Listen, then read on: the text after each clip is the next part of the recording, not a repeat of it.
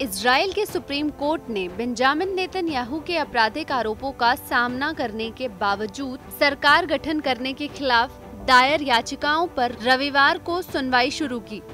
कार्यवाही में 11 न्यायाधीशों की बड़ी पीठ ने हिस्सा लिया, जो आमतौर पर देखने को नहीं मिलता है, और इसका सीधा प्रसारण किया गया। ये भी दुर्लभ ही है। इस सुनवाई के ज़रिए ये देखा जाएगा कि क्या आरोपी नेता सरकार बना सकता है। हालाँकि देश का कानून स्पष्ट रूप से इस पर रोक नहीं लगाता है। इसराइल के कानून के मुताबिक कैबिनेट मंत्रियों और मेयर को आरोपी होने पर इस्तीफा देना होगा।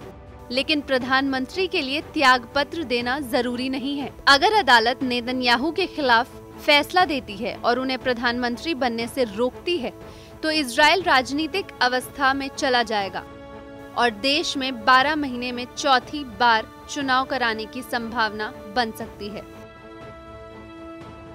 नेतन्याहू के खिलाफ रिश्वत लेने, धोखाधड़ी करने और विश्वासघात के आरोप इस साल की शुरुआत में लगाए गए थे। हालाँकि उन्होंने कुछ भी गलत करने से इनकार किया है। कोरोना वायरस की वजह से उनके मामले की सुनवाई टाल दी गई थी। सुनवाई इस महीने के आखिर में शुरू होनी थी। नेतन्याहू के शासन के खिलाफ प्रदर्शन हो रहे हैं। पिछले हफ़्ते नेतन्याहू के शासन के खिलाफ सुनवाई शुरू करने के लिए अदालत के विरुद्ध प्रदर्शन हुए थे।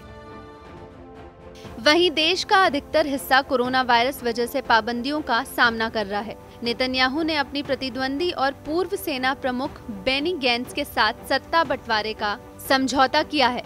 जिसके तहत पहले 18 महीने नेतन्याहू प्रधानमंत्री बनेंगे और बाद के 18 महीने गेंद सरकार की बागडोर संभालेंगे।